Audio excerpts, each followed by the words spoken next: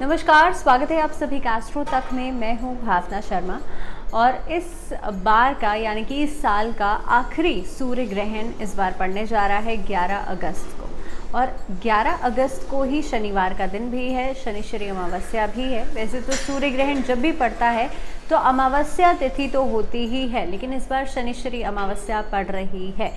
इसके अलावा आपको बता दूँ कि ये जो सूर्य ग्रहण रहेगा, ये इंडिया में हालाँकि नहीं दिखेगा। इंडिया में इसका जो दृश्य है वो दिखाई नहीं देगा, लेकिन आप, इसका जो असर होगा, वो ज़ाहिर तौर पर सभी राशियों के ऊपर पड़ेगा। तो आज आपको बताऊँगी राशियों के हिसाब से अलग अलग तरह का क्या प्रभाव पड़ने वाला है सूर्य ग्रहण का।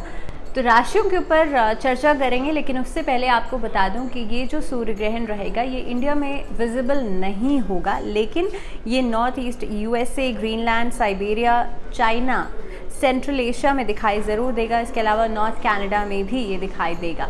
तो ज़ाहिर तौर पर जब सूर्य प्रभावित हो रहा है, सूर्य पर ग्रहण पड़ रहा है तो इसका असर आपकी राशियों के ऊपर ज़रूर देखा जाएगा। तो आज जानेंगे राशियों के हिसाब से अलग अलग उपाय भी बात करेंगे। क्योंकि ये साल का आखिरी सूर्य ग्रहण पड़ रहा है तो आज ऐसे अचूक उपाय आपको बताए जाएँगे हर राशि के हिसाब से, जिससे कि पूरे साल आप एक तरह की नेगेटिव इफ़ेक्ट से बच सकते हैं। इसका जो टाइमिंग की बात करें, हालाँकि सूतक क्योंकि यहाँ पर विजिबल नहीं रहेगा तो इसलिए सूतक भी यहाँ पर नहीं लगेगा। लेकिन जो बाहर की कंट्रीज़ में जो लोग रहते हैं, इसका टाइमिंग जो रहेगा, हालाँकि एक बजकर बत्तीस मिनट से लेकर पाँच बजकर दो मिनट शाम तक के इसका टाइमिंग रहेगा। तो ये अवधि है सूर्य ग्रहण की। लेकिन हम बात कर लेते हैं अगर राशियों के हिसाब से। तो सबसे पहली राशि, क्योंकि ये जो सूर्य ग्रहण है, ये कर्क राशि में लग रहा है तो अलग अलग राशियों पर अलग अलग प्रभाव पड़ेगा। सबसे पहले बात करें मेष राशि वालों की। देखिए, मेष राशि वालों के लिए जो प्रभाव पड़ने वाला है, मेष यानी कि मंगल की राशि। सूर्य का प्रभाव आपके ऊपर कहीं ना कहीं पे आपके लिए धन से संबंधित समस्याएँ तो लेकर के आएगा, लेकिन साथ ही में आय के नए स्रोत भी जोड़ेगा। जी हाँ अपॉर्चुनिटीज़ आपको मिलेंगी, कहीं ना कहीं पे आपको लाभ मिल सकता है ट्रांजेक्शन से। अगर प्रॉपर्टी से जुड़ी हुई ट्रांजेक्शन आप लोग करते हैं तो उससे आपको लाभ मिल सकता है। तो मेष राशि वालों के लिए एक चीज़ पर आपको सतर्क रहना है, लेकिन दूसरी तरफ़ आपको पॉजिटिविटी भी मिल रही है। इसी के साथ हम हमेशा बात करते हैं, क्योंकि जहाँ पे प्रॉब्लम है, समस्या है, वहाँ पर उपायों की भी बात की जाती है। उपाय की बात कर लें तो आप लोगों को सूर्य से संबंधित चीज़ों का दान देना इस समय में ज़्यादा अच्छा रहेगा। सूर्य से जुड़ी हुई तांबे की चीज़ों का आप दान कर सकते हैं, गुड़ का दान आप कर सकते हैं। अब बात कर लेते हैं अगर उपाय की तो आप लोगों को क्या डोनेशंस देनी है? आप सूर्य की चीज़ों से जुड़ा हुआ दान कर सकते हैं, या तो आप लाल कपड़ा, गुड़, या फिर तांबे का पात्र आप दान कर सकते हैं, किसी भी धार्मिक स्थल पर, किसी भी मंदिर में जाकर। चलिए, अगली राशि के बारे में बात करते हैं, वृषभ राशि यानी कि टर्नस तो वृषभ यानी कि शुक्र की राशि तो कहीं ना कहीं पे चंचलता होती है ऐसे लोगों के दिमाग में। हर तरह से अगर देखा जाए तो शुक्र प्रभावी जो लोग होते हैं, वो लग्जरीज की तरफ़ ज़्यादा आकर्षित होते हैं ग्लैमर लाइन की तरफ़ ज़्यादा आकर्षित होते हैं। हालाँकि अगर बात करें आपके लिए इस इस सूर्य ग्रहण के प्रभाव की तो वृषभ राशि वालों के ऊपर आपके पर्सनल लाइफ को एक तरह से ये जो सूर्य ग्रहण ये इफ़ेक्ट करेगा। पर्सनल लाइफ में खासतौर पे दाम्पत्य जीवन जो है आपका, दाम्पत्य जीवन में थोड़ी सी एडजस्टमेंट प्रॉब्लम्स आपको देखने को मिल सकती हैं। लेकिन इसी के साथ साथ अगर बात करें आपके लिए प्रोफेशनल लाइफ की तो प्रोफेशनल फ्रंट पे आपके लिए अपॉर्चुनिटीज़ आपको मिलेंगी। साथ ही में जिन लोगों के ऊपर कर्जा चढ़ा हुआ है, कर्जे को उतारने के बारे में ज़रूर सोच सकते हैं। आपके लिए सूर्य के बीज मंत्र का जाप करना लाभकारी रहेगा। ओम राम रीम रोम, स सूर्याय नमः। इस मंत्र का जाप करना खास तौर पे 11 अगस्त वाले दिन आपके लिए विशेष लाभकारी रहेगा। चलिए बात करते हैं अगली राशि, मिथुन राशि। तो मिथुन राशि, यानी कि बुध की राशि। मिथुन राशि वाले जो लोग होते हैं, वैसे भी बहुत ज़्यादा इंटेलेक्चुअल होते हैं। कहीं ना कहीं पे ऐसे लोगों की वाणी बहुत अच्छी होती है। अगर आपकी कुंडली में बुध अच्छा भी है तो भी ऐसे लोग बहुत ज़्यादा प्रभावशाली होते हैं। वाणी से काफ़ी हद तक लोगों को प्रभावित कर देते हैं।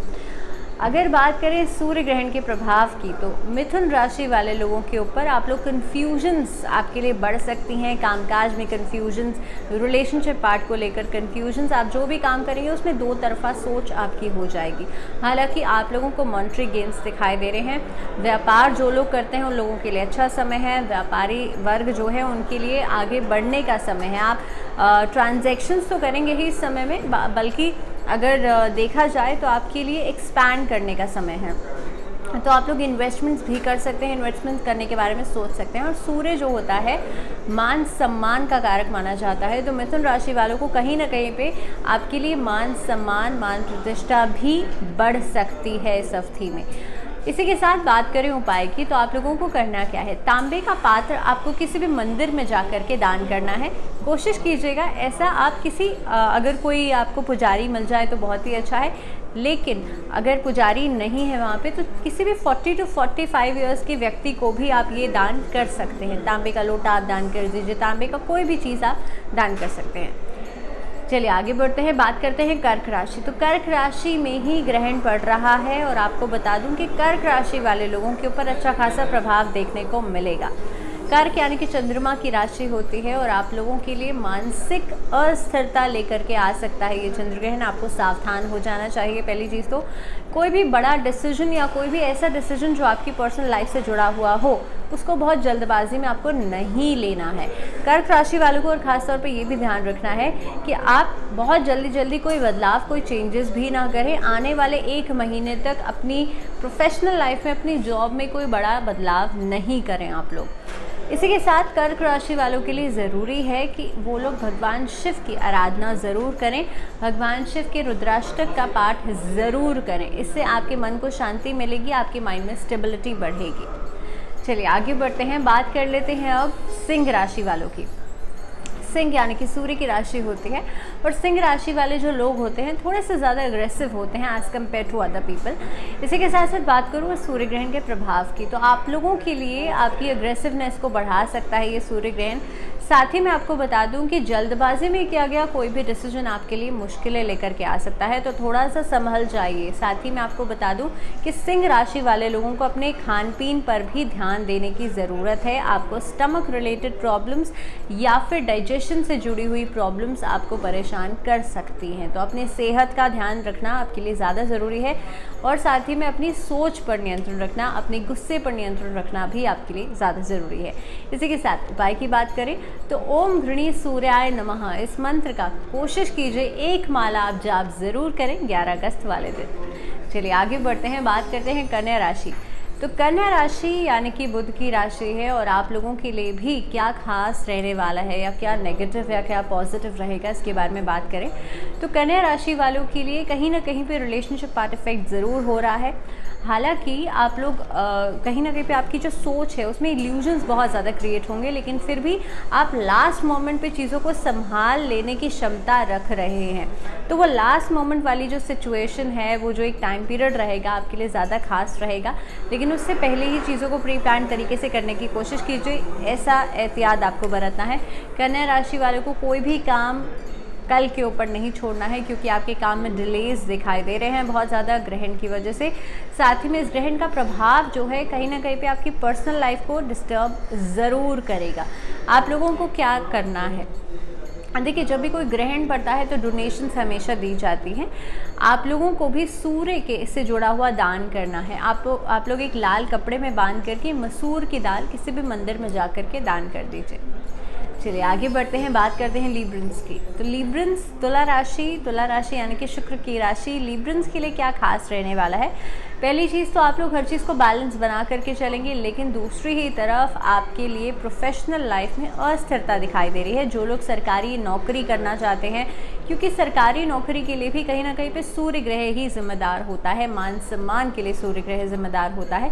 तो जो लोग सरकारी नौकरी के बारे में सोच रहे हैं, करना चाहते हैं, उन लोगों के लिए ज़रूरी है कि थोड़ी सी ज़्यादा मेहनत कीजिए एक्स्ट्रा एफर्ट आप लोग ज़रूर करें, क्योंकि आपकी मेहनत में कमी दिखाई दे रही है। दूसरी चीज़ एक्सपेक्टेशंस बहुत ज़्यादा हैं।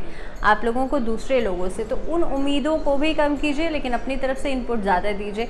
तो ये ऐसी कुछ चीज़ें हैं जिनका तुला राशि वालों को बहुत ज़्यादा ध्यान रखना है, क्योंकि आपकी राशि का मतलब ही है बैलेंस यानी कि तुला। तो इसीलिए आप लोग काफ़ी सारी चीज़ों को ध्यान में रख करके चलेंगे तो आपके लिए समय काफ़ी अच्छा है, काफ़ी स्टेबल है। इसी के साथ बात करें अगर उपाय की तो आप लोगों को सुबह उठ करके आप सुबह के समय 11 तारीख को सुबह के समय, ओम घृणी सूर्याय नमः का पाठ कर लेना लाभकारी रहेगा। चलिए, बात करते हैं वृश्चिक राशि। तो स्कॉर्पियंस के लिए कैसा है ये समय? वृश्चिक राशि मंगल की राशि होती है और वृश्चिक राशि वाले जो लोग होते हैं, कई बार थोड़े से ज़्यादा अग्रेसिव हो जाते हैं एट टाइम्स दूसरी चीज़ अगर बात करें, इस ग्रहण का कितना असर पड़ रहा है आपके ऊपर? तो सूर्य ग्रहण 11 अगस्त को पड़ने वाला है और आप लोगों के लिए ज़रूरी है कि आप इस सिचुएशन में या इस अवधि में आप कोई भी बड़ा डिसीज़न बड़ा फैसला ना लें, क्योंकि कहीं ना कहीं पे गुस्से में आकर के, आप आवेश में आकर के कोई ऐसा गलत डिसीज़न ले सकते हैं, आपके पैसों से जुड़ा हुआ, जिससे कि धन हानि हो सकती है वृश्चिक राशि वाले लोगों को। तो बहुत संभल करके चलना है, किसी ट्रांजैक्शन को करते वक्त, कोई ऐसा बड़ा डिसीज़न लेते वक्त, साथ ही में पर्सनल लाइफ में भी कोई बड़े फैसले नहीं लेने हैं या गुस्से में आकर के कोई फैसला नहीं लेना है। तो वृश्चिक राशि वाले इससे संभल करके चलें। ध्यान दीजिए कि ये समय जो है, इसको निकल जाने दें। इस समय में डिसीज़न मेकिंग न करें। इसी के साथ उपाय की बात करें तो आप लोगों के लिए ज़रूरी है कि आप लोग आदित्य हृदय स्रोत का पाठ ज़रूर करें। ये आपके लिए करना लाभकारी रहेगा। चलिए बात करते हैं साजिटेरियंस यानी कि धनु राशि। धनु राशि वाले लोगों के लिए कैसा रहेगा? धनु राशि यानी कि गुरु की राशि है, साढ़े साथी भी आप लोगों के लिए पीक पर चल रही है।